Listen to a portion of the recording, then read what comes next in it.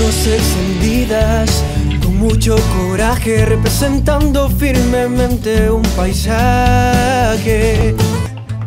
En los procesos de lavado y desinfección de los botellones se utiliza un sistema de lavado de alta presión. Queremos agradecer, ya estamos revisando sus comentarios, sus mensajes, tenemos 62 personas conectadas. Una carta, mi amor. ¿Una carta? Sí, mi amor. Así nos enamorábamos antes. No, hay, no lleva una uniformidad, va a tener varios saltos, va a haber plantas intercaladas.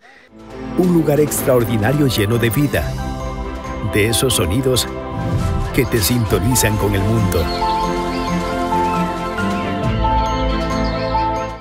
Construir la casa que estamos y que a su vez me sirvió para poder eh, adecuar todo el estudio que tengo ahora aquí, con el cual eh, trabajo en grabaciones de audio, en producciones de video, porque por medio de este estudio eh, doy a conocer u ofrezco mi talento a nivel nacional y mundial, dadas las circunstancias de la conexión tecnológica que actualmente existe.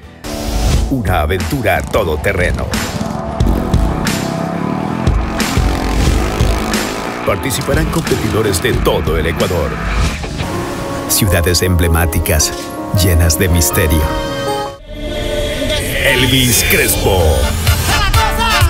Llega a Pedernales el 28 de marzo por las fiestas de cantorización.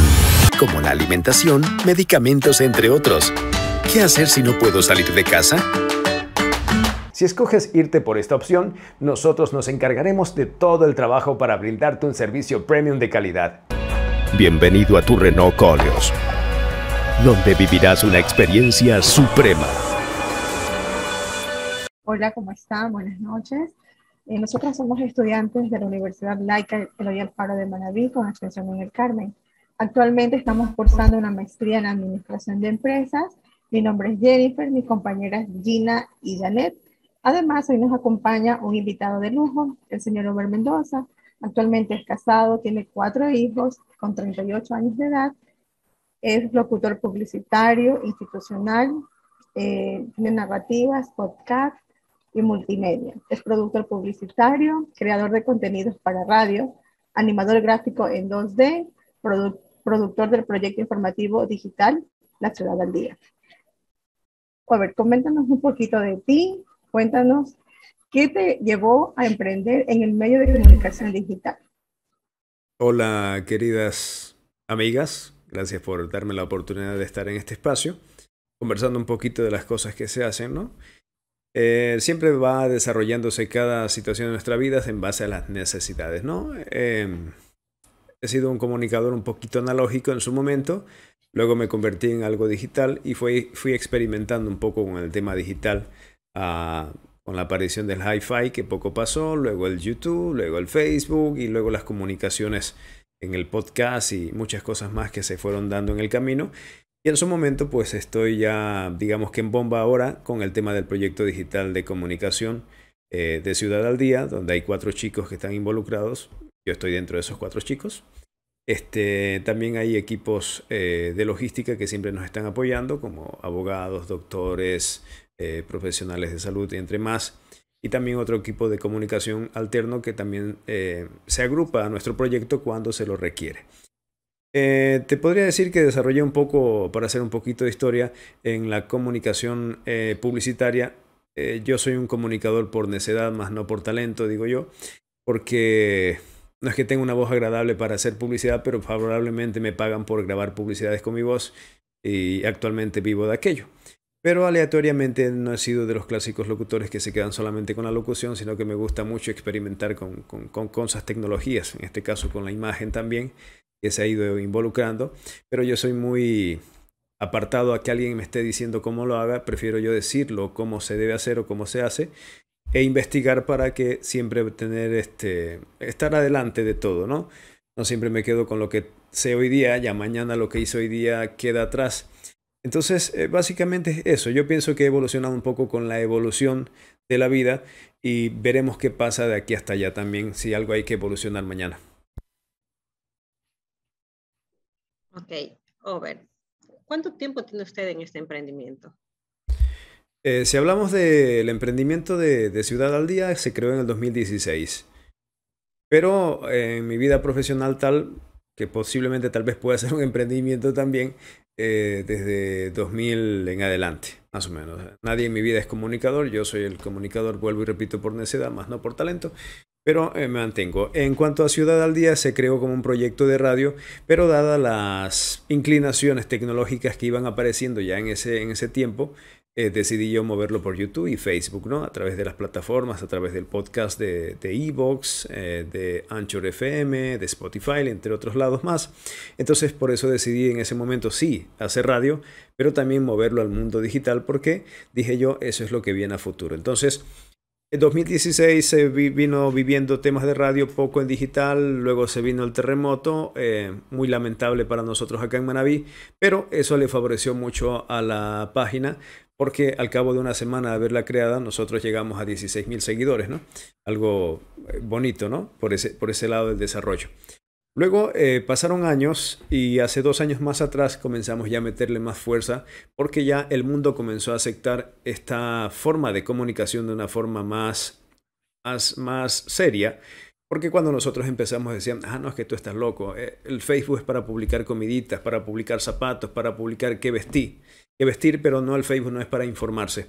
Entonces me veían como loco en ese momento, pero ya en estos dos años, como vi que se fortaleció un poco más la aceptación de las personas que comenzaron a aceptar de que eh, el Facebook, de que el YouTube, de que el podcast, eh, desde varias plataformas ya son parte de la información, pues nosotros hemos crecido mucho. Desde ese momento, estamos hablando hace dos años atrás, teníamos cerca de 30.000 seguidores, 26.000 seguidores.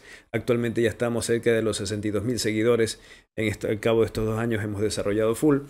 Y en cuanto a la aceptación eh, que ha tenido la gente frente a este proyecto, pues eh, se nos va bien porque manejamos una línea de comunicación muy diferente a como lo hace un medio de comunicación radial. Nosotros somos pobres, siempre decimos. Eh, los medios radiales y televisivos se venden al mejor postor. Eh, claro está, se les entiende porque tienen que sobrevivir el proyecto de ellos, tienen que pagar registros y tienen que pagar un poco de cosas más y se entiende de que tengan que moverse al ritmo de la política, sobre todo que es lo que da más plata. Mientras nosotros pues nos estamos en, teoría en práctica muriendo de hambre porque estamos haciendo el periodismo como se debe, como nos apasiona, eh, con toda la responsabilidad del caso este periodismo no tiene seguidores demasiado, este periodismo no te, nadie te está pagando para hacerlo, entonces estamos más o menos así. Estamos, digamos que, sobreviviendo de este proyecto en un 20 o 30% en la actualidad con el equipo que tenemos.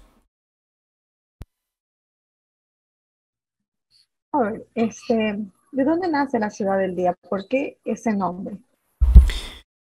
Eh, don Plinio Lor García, de Radio Horizontes, en el 2016, retrocediendo una vez más, me dijo, Don Over, este, hay un espacio en la radio y mediodía para que cree un proyecto de noticias.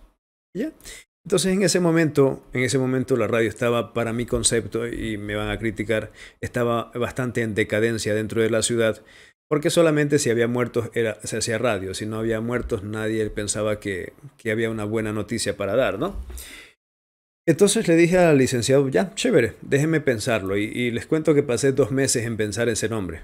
Porque comencé a buscar nombres, ¿no? Eh, eh, noticias al momento, actualidad informativa, etc, etc, etc, etc.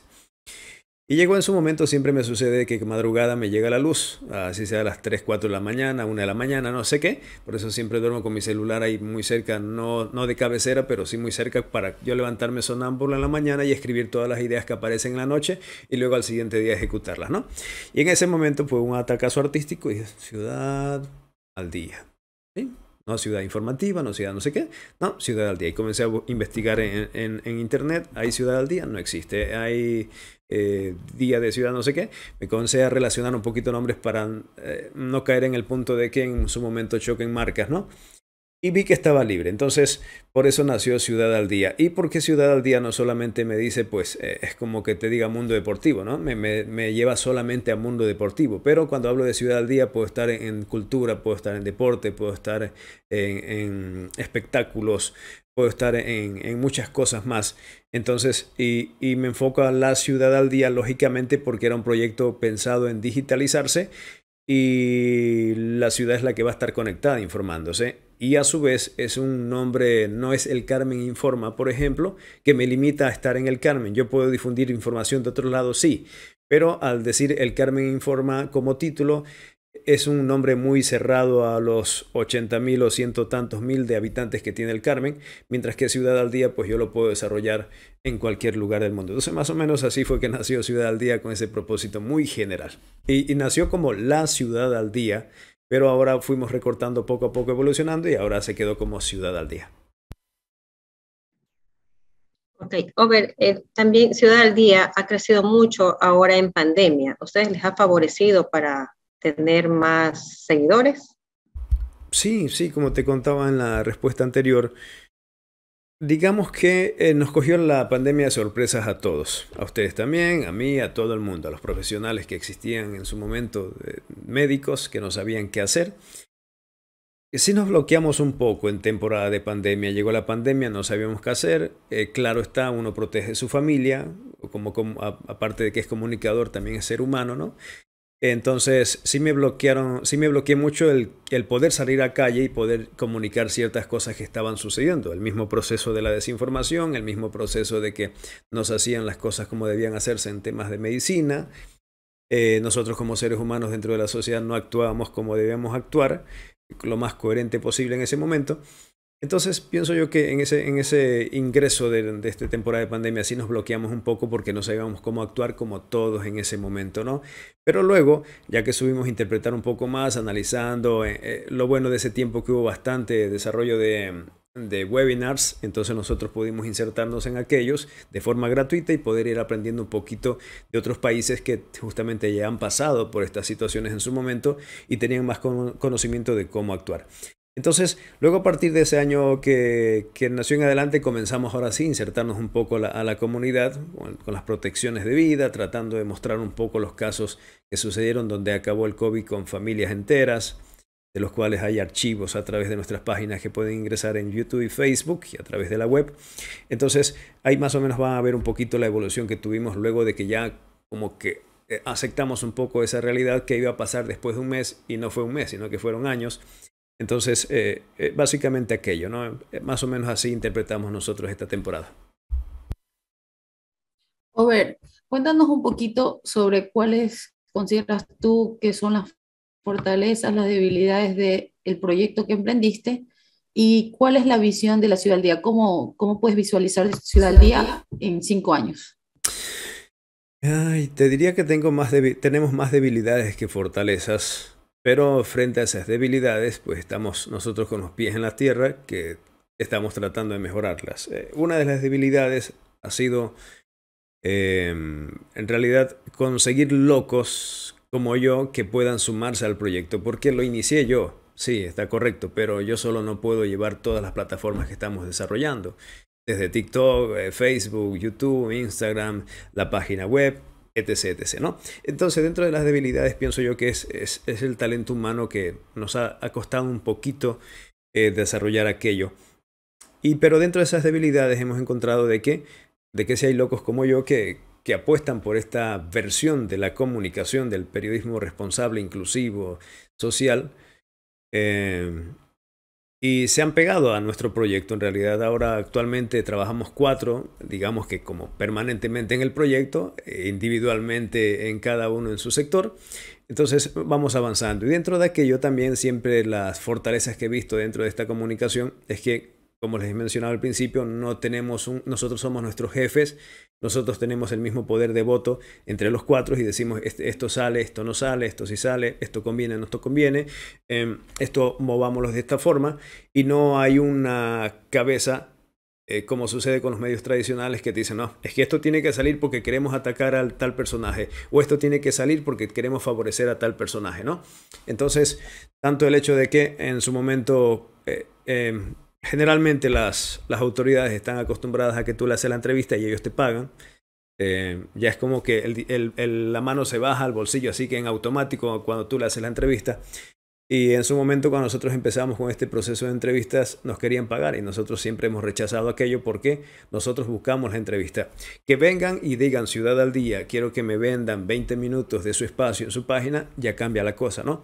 Pero no necesariamente cuando nosotros vayamos, ellas, ellos tienen que pagarnos. Entonces hemos tratado un poquito de luchar con aquello. Esa también es otra de las eh, fortalezas que hemos tenido.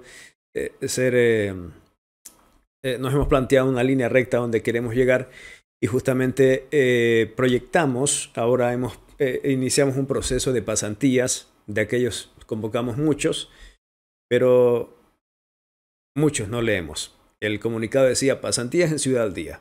Y llegaban gente con títulos calificados, con 15 años de experiencia, que trabajaron en BBC, que en CNN, que en Ecuavisa, que no sé qué, no sé cuánto. Y cuando le decíamos, pero ¿estás dispuesta a tu pasantía? Ah, pero es que no sabía que era pasantía, pero el aviso dice que es pasantía, ¿no? La mala costumbre de no leer. Entonces, de entre aquellos, hemos fortalecido con cuatro pasantes más, con los cuales estamos desarrollando ahorita un proceso de adaptación dentro del proyecto. Eh, debilidades también que podemos, estoy mezclando un poquito rápido debilidades y, fortalezas. Debilidades que tenemos ahora es, por ejemplo, con esta eh, nueva generación y con la antigua generación de la comunicación, que no, no entiende un poquito el concepto de la comunicación digital, de cómo funciona. Si bien es mediática y puedo desarrollar un video de tendencia para ganar recursos económicos, porque así nos mantenemos nosotros a través de la monetización digital, pero eh, no la ven como una oportunidad eh, de trabajo, ¿no? Eso hemos estado trabajando y, peleando un poquito con estas personas con quienes hemos acercado, de que la comunicación digital y el periodismo responsable, sí, te monetiza, te monetiza bien, puedes ganar mil dólares como no puedes ganar nada, ¿no? En un solo día, claro está, pero, pero no estamos, este clavados a un horario que nos determina. Podemos trabajar 24 horas como podemos trabajar una hora y conseguir eh, recursos de diversas formas, tal como lo he mencionado, ¿no? Entonces, hemos tratado un poquito de actualizar eh, ese, ese, pensar de que el periodista solamente hace prensa escrita, de que el periodista solo hace radio y de que el periodista solo hace televisión. Entonces, esos eran los tres más básicos que la gente pensaba que el periodismo se hace, ¿no? El periodismo se hace de muchas formas, social, comunitario, eh, el mismo ustedes están haciendo comunicación con lo que están haciendo ahora, ¿no? Entonces, e, esa es una de las eh, debilidades un poquito de hacerle entender a nuestros colaboradores o pasantes que están ingresando, el de que aquí hay futuro, ¿no? Que si bien es un proyecto que ellos pueden crear y sí lo pueden hacer, pero van a ir mucho más lentos si lo hacen eh, que eh, se unan al proyecto que dice Ciudad al Día, ¿no? Que hay una responsabilidad que cumplir, que hay lineamientos que hay que llevar, que hay responsabilidades en notas que cumplir y hacer, que hay que moverse para vivir, eso sí es verdad, ¿no? Pero Em, dentro de las habilidades de, aquello, pues es de que ellos piensan en, que, bueno, no tengo un sueldo mensal, págame aunque sea 200 y yo eh, trabajo contigo 24 horas al día, no sé qué. Decimos, no, no, te, pagamos, te vamos a pagar mil, pero trabaja una hora nada más, pero todo depende de ti, ¿no? Y en proyección dentro de cinco años, eh, nosotros estamos más o menos enmarcando eh, la ciudad al día dentro de un proyecto de información como lo hemos venido eh, entregando, ¿no? Pero nuestro propósito, sobre todo los, más capos de, este proyecto, eh, nos estamos moviendo al tipo reportajes documentales, que son muy lentos, que vas a trabajar un reportaje después de un año, recién va a ver la luz, después de dos meses. Actualmente estamos desarrollando, por ejemplo, reportajes documentales de agropecuaria y son reportajes que me llevaron tres meses de grabación más un mes de producción. Entonces no son trabajos muy, muy fáciles y no son trabajos monetizables momentáneos porque eh, nadie se senta, toma el teléfono y se queda ahí en media hora viendo un reportaje, un documental, a excepción que sea interesante, pero como si lo hacen con un muerto, ¿no? Que es algo de tendencia. Ah, es que mataron al vecino, no sé qué, no sé cuánto. Entonces también esa es otra de las debilidades que el público está muy faranduleado, ahora está muy, muy quiere ver, quiere ver muertos, quiere ver no sé qué, quiere ver no sé cuánto. Pero esos temas de intereses que nosotros estamos elaborando, que nos lleva mucho tiempo hacerlo, pues tenemos solamente 100 y 200 reproducciones, ¿no? Entonces, más o menos por ahí vamos. Pero nuestro proyecto es desarrollar en su momento, claro que con otra marca que ya la tenemos creada, que ahora se llama La Ciudad, que es una página netamente creada para mover documentales y reportajes, nada más. Ahí no va a haber noticias. Entonces, la idea es de que en Ciudad al Día quede un equipo ya conformado bajo nuestra supervisión, pero nosotros ya irnos moviendo a la parte de la ciudad para poder promover el tema de documentales y lógicamente con el propósito de que sea monetizable, que es un poco más lento por lo que yo ya les he mencionado, aquella casa de contenido, ¿no? Otra pregunta, Robert Yo quiero que me cuentes eh, cuál ha sido tu experiencia o tu aprendizaje más significativo eh, desde que empezaste tu emprendimiento. Una experiencia que te haya marcado. Mira, hay muchas cosas que han marcado y yo pienso que dejar un poco el egocentrismo hacia un lado, e, eso es algo que ha marcado full. Porque cuando estamos empezando nosotros queremos saberlo todo, ¿no? No, que yo hablo bonito, no, que yo puedo hacer esto mejor que otro.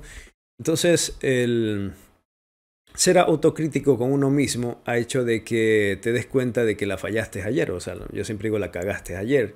Y, lo que hiciste hoy está bien, pero lo que hiciste hoy mañana lo ves y estás, estás fallando igual. Entonces pienso yo que lo, lo que más ha marcado es justamente aquello. Pelear mucho con el tema del ego que tiene uno como ser humano y decir, pues, y caer al punto de la humildad de decir, pues, o sea, sí, la fregué, correcto, puedo corregirla, correcto, mañana puedo ser mejor, está bien, tengo que aceptar las críticas o, por lo menos las menciones que nos hacen otras personas, sí. Entonces, pienso yo que esa es la, la parte más importantísima, porque lo que estamos haciendo ahora no se podía hacer hasta antes de la pandemia. Ya tenemos el Zoom, tenemos el mail, tenemos muchas formas de comunicarnos, pero antes de eso estaba súper lento la situación, ¿no? El tema de celulares, el tema de la conexión de Internet, teníamos muchas dificultades. Entonces pienso yo que más o menos por ahí estamos eh, de, tratar de ser humildes cada día y poder aceptar todas las críticas necesarias y de ser, de ser, firmes también en lo que vamos haciendo y tener una convicción clara y no aceptar monedas con tal de cambiar nuestra, nuestra línea, ¿no? Ver, ¿qué tan difícil fue emprender? ¿Emprender nació de una idea, nació de una necesidad? O en tu caso, ¿por qué emprendiste? Y visualiza en algún momento volver a tener una relación de dependencia laboral o continuar con tu emprendimiento. Mm, esa pregunta siempre me la hago siempre. ¿Por qué me metí en esta pendejada y ahorita estoy cagado? O sea, pero cuando veo crecer la, lo que se está haciendo de una forma muy íntegra, digo yo, aquí está el pago. No hay plata, pero aquí está el pago. ¿no? Cuando en antes, por ejemplo, una, una persona me dijo, no, yo te, siempre te sigo a ti. Yo no te conocía presencialmente, siempre te veía de lejos y sigo tu proyecto. Siempre estoy haciendo like contigo, compartiendo y dando me gusta a tu proyecto. Porque lo hacen de una forma diferente, no están criticando a nadie, informan lo que tienen que informar y ya. Entonces, ese, ese es como que la, la, ganancia que nosotros tenemos. Entonces, eh, ya con nosotros nos alegramos cuando hay 20 personas conectadas en nuestros live que hacemos eh, en la mañana y ese, y ese live de media hora que hacemos nos toma, ahora por ejemplo estamos trabajando a esta hora eh, en, el, en, el, proyecto que se viene mañana y entonces estamos constantemente, se acaba en este momento lo que hacemos y mañana empezamos de nuevo. Entonces, eh, Pienso yo que, que, la necedad es la que nos tiene acá. he, tenido muchas peleas con mi esposa em, en todo este proceso de la comunicación, no solamente ahora, desde que comencé radio por necedad, este, muchos días sin comer, muchos días sin dormir, caminaba 5 kilómetros a pie para poder llegar a la radio, la radio nunca me pagó nada por una temporada, luego comenzó a pagarme 90 dólares, yo era el hombre más feliz del mundo con 24 años de edad, entonces, como ven, hay todo un proceso, pero eh, tengo una, una, visión clara, ¿no? Tengo una visión muy clara del propósito a donde quiero llegar y gracias a, a la suma de muchas cosas que hago, eh, porque no solamente estoy haciendo comunicación digital a través de Ciudad al Día, estoy haciendo muchas cosas más. Eh, tapa un hueco con otro en realidad, ¿no? Esta energía, este internet que estoy utilizando no lo paga Ciudad al Día en su momento, porque sí es un poco tedioso de conseguir recursos y poder pagar esos 20 o los dólares que sean para pagar el internet o la energía. Pero eh, la familia es un importante apoyo para, para, apoyar esta locura, ¿no? Entonces, mi, mi, desarrollo como comunicador social en otros lados, en otros ámbitos, porque yo no me declaro un periodista, sino un comunicador para extender todo lo que hago, eh, sucede de que eh, al, al, hacer una cuña publicitaria me pagan X cantidad, con esa cuña publicitaria cubro lo de acá. Y y siempre digo que el Hijo de Dios nunca muere boca abajo. Entonces, más o menos es una mezcla de todo, porque yo solamente me dedicara a este tema digital de Ciudad al Día, pues estuviéramos eh, muriendo de hambre. Ahora, este, que es muy bonito, que, es, que tiene buena proyección, sí que hay que trabajarlo para que desarrolle eso, sí es verdad también. Entonces, estamos justamente en eso. No sé si respondí porque de tantas cosas ya me estaba como mezclando. Sí. Yo tengo otra preguntita. Un ratito, tengo otra preguntita. Por ahí vi que hablas de que tienes muchos proyectos y muchas cosas en mente, ¿no? Que, que son positivas. Pero veo que tienes eh, un emprendimiento que se llama Overvoice. Ah, ya, esa es la marca personal de... A ver, te, voy a enumerar muchas cosas que hago y no lo hago con... Ya te dije que el egocentrismo está eso a un lado. Muchas personas dicen, ay, es que hablas bonito. Sí, hablo bonito, está bien. ¿no? no o sea, acepto eso como un beneficio, pero no es que digo, ay, sí, todo el mundo dice que yo soy guapo y toda la cosa, ¿no? Nada, nada de aquello, ¿no? Entonces, empezamos por obligación a meter locución comercial en su momento, ¿no? no había, faltó un locutor, métalo a este que habla ahí, si yo me hubiera conocido en ese momento, nunca me hubiera dado la oportunidad, ¿no? Entonces, por eso siempre digo de que todos tenemos la capacidad. Si yo pude llegar hasta aquí, que todavía quiero más, cualquiera persona puede, simplemente necesita una guía, ¿no? Comencé en locución comercial, pero eh, por suerte para mí en estos pueblos pequeños, eh, la locución comercial va acompañada de que tienes que editar el audio, ¿no? Entonces, chévere, aprendí las dos cosas, locutar, a, editar ¿Quién te hace el guion? Yo mismo. Entonces aprendí a hacer guion y eso me, eh, eso me ha ayudado mucho para llegar acá donde estoy. Entonces, si tú me dices, Over, quiero que me hagas un guion para una publicidad, no sé qué, no sé cuánto, o algo social, yo te lo hago, ¿no? Y si solo quieres el guion, te cobro por el guion. Entonces, en su momento, no aquí, por lo menos en mi ciudad no puedo hacer eso, pero en otros proyectos a nivel nacional o de otros países sí lo hago, que cobro por el guion, cobro por la edición y cobro por meter en mi voz, ¿no? Entonces, por ejemplo, Luego de eso, pues me desarrollo en el tema social. Cuando alguien quiere, no sé, tú tienes una quinceañera, nosotros vamos, hacemos la cobertura videográfica o fotográfica, lo que sea, y también es otro mundo, ¿no? Estamos hablando del, guion, edición de audio, edición de, eh, de texto y estamos hablando de, de cobertura sociales. Pero también a, aquello, gracias a, a, todo este proceso, estos aprendizajes que he hecho, también puedo desarrollar una publicidad audiovisual, porque luego apareció el video. A mí no me gusta, y aquí se los confieso entre nosotros cuatro que no salga, a mí no me gusta editar video, o sea, para nada. A mí me encanta el audio, pero dicen que lo hago bien, ¿no? Y los trabajos que ustedes han podido ver eh, muestran el trabajo que se hace, porque también lo hago con cariño. No quiere decir que porque no me gusta editar video no lo hago con, con toda la entrega del mundo, sí lo hago. Eh, siempre soy comprometido con aquello.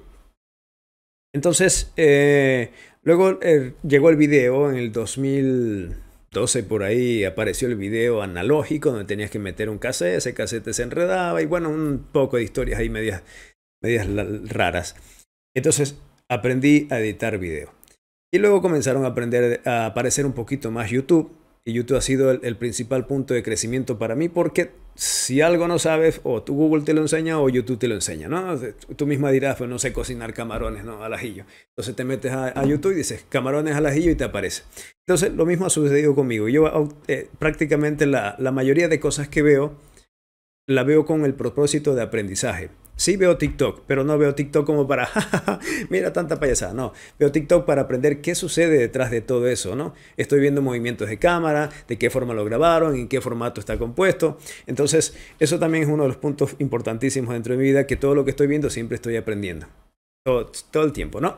Entonces, actualmente estamos produciendo un proyecto importante para unos países, Chile, déjame ver si me acuerdo, Chile, México, Argentina y Colombia, si no me equivoco, es justamente para la plataforma de TikTok donde nosotros hacemos de presentadores con otra compañera. Y por ejemplo, ese es un dinero que no está dentro de Ciudad Día, es un dinero que va directamente a mí, pero por el talento y las capacidades de tecnología que tengo, porque si yo no hubiera invertido, porque esa es otra de las cosas, la gente en mi familia sabe que cuando yo digo, es que mi amor, me gusta un micrófono, y ahí comienza mi esposa a preguntarme, ¿pero cuánto te costó? Pero no, mi amor, solo digo que me gusta. ¿Pero cuánto? Ya sabe que yo lo compré, porque cuando digo me gusta algo, porque ya lo compré. y nos matemos en aprietos económicos ahí en ese proceso, pero gracias a aquello, eh, puedo hablarte en esta cámara, puedo hablarte en este micrófono, puedo hablarte en este escenario, porque eh, no he tenido miedo a, perder, ¿no? Siempre así, así me derrota en el camino una batalla, una, una batalla, pero no pierdo la guerra, ¿no? Entonces, yo pienso que más o menos por ahí es todo lo que hago. Y la marca de Overvoice, ya para puntualizarte y llegar a aquello, la he fortalecido más a partir de un tiempo hacia acá, porque en marcas nacionales eh, y de otros países, como te digo, la, con este tema de la pandemia se nos favoreció mucho el tema de comunicación, porque cuando yo tenía que grabar una publicidad en Quito, muchos comerciales perdí así, ¿no? Oh, don Over Mendoza, ¿cómo está? Mire, soy de la empresa tal, quiero que grabe una publicidad tal. Ya, chévere, listo. Este, ¿puede venir ahora al estudio? Le digo, no, pues, o sea, eh, lo que pasa es que el proyecto tiene que salir a las 10 y me llaman a las 9. No, le digo, yo soy de Manaví, no podría subir a Quito ahora. Entonces, no, no, perdón, ya no, ya no se puede. Entonces ese proyecto se caía porque se supone que ellos querían grabar exactamente un estudio con todos los settings y todas las configuraciones que tiene ese estudio. Pero luego de esta temporada de pandemia, les digo nuevamente, no, no he tenido miedo de invertir en equipos. si un proyecto me lo demanda, yo compraré un equipo que cueste lo que tenga que costar. Entonces, con este proceso de, de, de, pandemia ya aceptaron un poco las productoras y los dueños de los proyectos de que se grabara en digital y se pudiera enviar con requisitos técnicos que lógicamente, eh, vuelvo y repito, yo siempre estoy tratando de, cumplir con la parte técnica porque eso es importantísimo. Si bien mi talento es, eh, es, importante, pero también otra parte técnica es lo importante. Nada vale que tenga un talento de, de un 100% si cuando yo hable con un micrófono que no funciona bien, pues eh, no me lo van a comprar, ¿comprendes? ¿no? Entonces, de esa forma se ha desarrollado Overvoice y he tenido la oportunidad de trabajar para unas buenas marcas a nivel nacional e internacional que que ya ni me acuerdo cuáles son, pero ahí va. Over, nos has mencionado algunos emprendimientos, Ciudad al Día, producción eh, para publicidades, valga la redundancia, eh, audiovisual y producción social. ¿Cuál es el campo donde más te sientes a gusto? Si en algún momento Over se tiene que quedar con, con uno de sus emprendimientos, ¿cuál sería? La verdad es que yo me siento... el que le da de el que le brinda recursos económicos o el que es su sueño y por eso invierte sus recursos? Mm, yo creo que me quedo con todos. Yo soy, yo me aburro muy rápido de una sola cosa. De, lo único que no me aburro es de mi familia, de mi esposa. Pero en cuanto a profesionalmente de lo que estoy haciendo, me voy a aburrir fácilmente de lo que estoy haciendo si solo hiciera una sola cosa.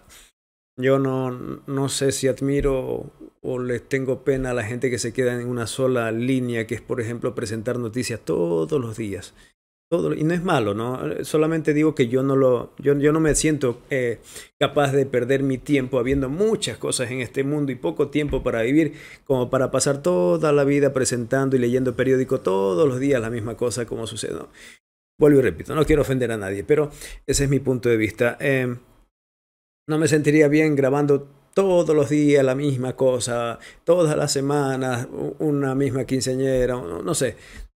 Por eso yo trato de hacer muchas cosas para no aburrirme y el mismo hecho también que cuando ya me siento absorto de tanta tecnología voy al campo y tiro machete y muestra eso, pues tengo algunos cortes en mi, en mi cuerpo que lo demuestran. Entonces sería muy difícil decidir por aquello porque yo me gusta todo y siempre me estoy metiendo en más relajo.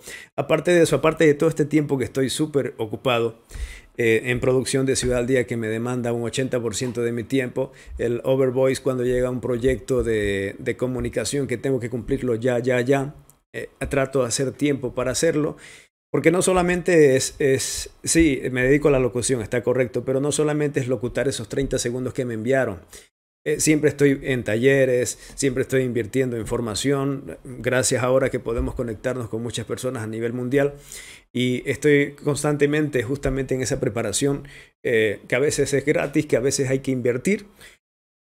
Entonces no me veo, no me veo. Ahora, ahora me metí a un problema, a un lío, que estoy grabando un libro de una, de una reflexión diaria y para poder cumplir con aquello me he apoyado en mi hijo que tiene 10 años, que le enseñé a editar y él me está ayudando. Yo, grabo las reflexiones porque no tengo casi tiempo para editar y le digo, toma, aquí está el audio. Tú edita, ponle la música, súbelo a las redes sociales que hay una página en YouTube y Facebook que se llama El Pan Diario. Entonces todos los días está saliendo una reflexión. Tú sabes lo que es grabar todos los días, así sea tres minutos de grabación. O sea, te consume igual el tiempo y, está ciudad al día y está que tengo que pasar con los niños un poco más de tiempo, que, que ejemplo, hacer almuerzo, ¿no? hacer cosas, vida, porque mi trabajo favorablemente se desenvuelve en mi casa, pero negativamente se desenvuelve en mi casa. Entonces, mientras estoy haciendo un trabajo acá, escucho gritos, vuela para afuera porque los niños están gritando por algo.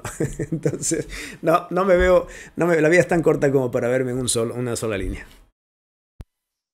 En, dos años, tres años, ¿cómo vamos a ver a Over? Ya tenemos ahorita Over, creador de Ciudad Día, Over, productor audiovisual, Over, padre, Over, campesino. En, en tres, cuatro años, ¿qué más esperamos o qué más te visualizas tú en tres, cuatro años dentro de tu vida, tanto profesional como personal? Estoy haciendo muchas cosas. Eh, tratando lo más difícil de combinar este, este tiempo que absorbe mucho con la familia para no perderme también de los momentos. Y gracias a que están acá, ¿no? Tengo un hijo mayor que siempre me pierdo de muchos momentos de él porque él vive en otra ciudad y entonces es más difícil aquella situación. Acá los tengo cerca los bebés.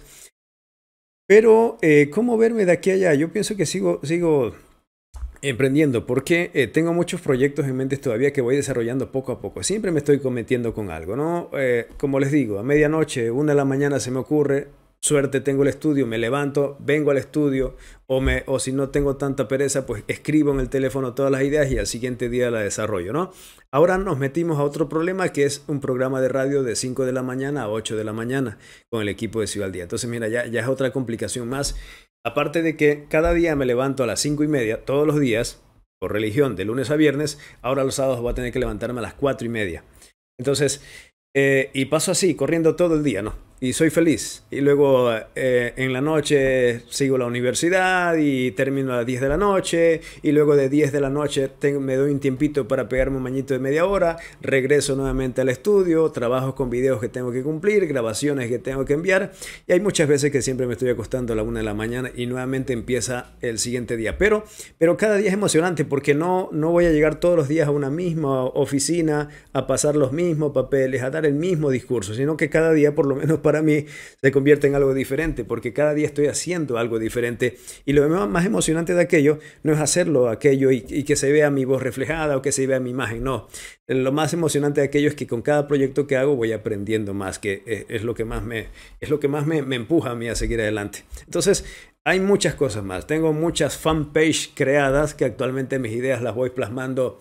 Generalmente dicen, pues coge una libreta y escribe tus proyectos y luego en tu momento cuando no tengas idea, búscala y, busca qué creaste ahí y ponlo en función. Pues yo, yo no tengo esa libreta. Yo tengo fanpage creadas en Facebook que cuando aparece un proyecto, toma, aquí está la fanpage, justamente este proyecto ya lo había creado hace tiempo y montémonos.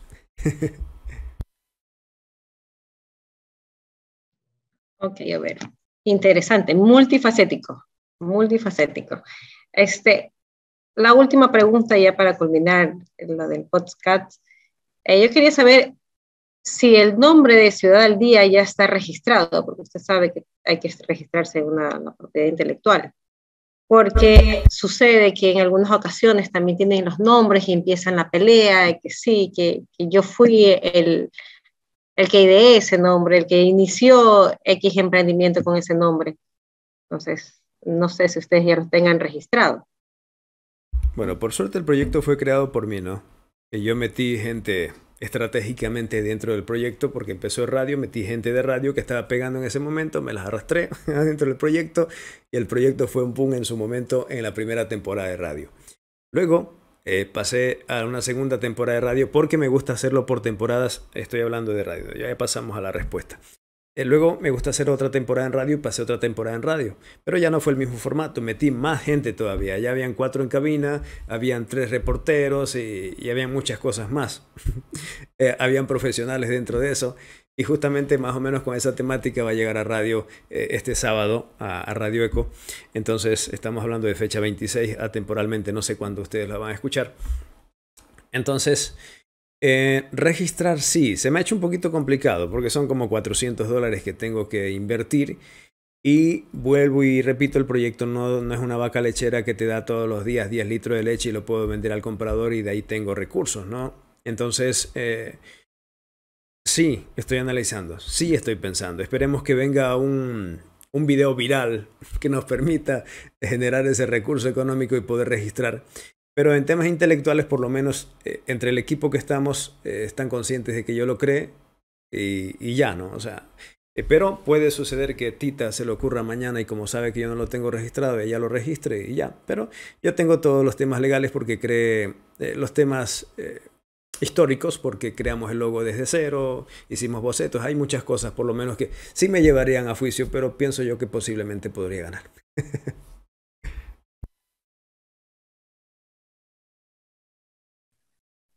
Bueno, Over, ha sido un gusto compartir con usted estos pequeños minutos eh, donde nos ha acompañado. Eh, gracias por sus palabras, de verdad que nos anima a muchas personas, sobre todo a nosotras aquí, a emprender. Tus proyectos son muy buenos.